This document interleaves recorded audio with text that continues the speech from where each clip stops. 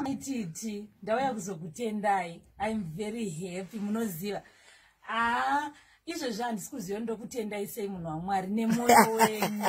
Iam very happy. Ndauya kuzokutendai nemakusheni angu aya. I know kuti zvinhu zvidiki. Mwari chaivo ndo vanoziva kutendai.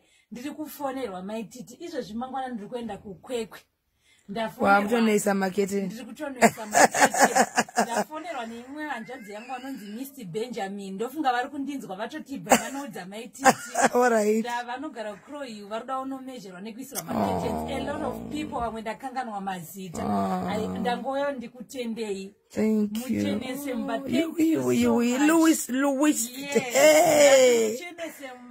Oh, thank very happy mwari vakuitirei zvakanaka my sister thank you. una ruoko rwamwari thank you so much my Ah, titi saka watoita mari kayo chindi- Ah. chindipa mari yangu yandakaku ndicha ndakatenga drinki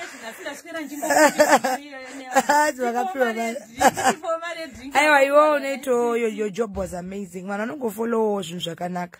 Unogona kusona. And please maclients iwayo andakakupaka masonere kudarika zvawakandiitira onyatsoita nemwoyo wese oregawo kupota uchiita makuhwa mukana dzimba dzevanhuku ndo zvimwe zvinodonhedza vanhu nekurekodha vanhu. It's true. uziva chaunenge wadini?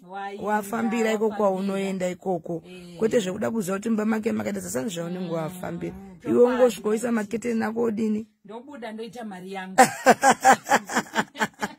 Thank you mura. Ina handichambomuki kuti ndinororisa but thank you so much.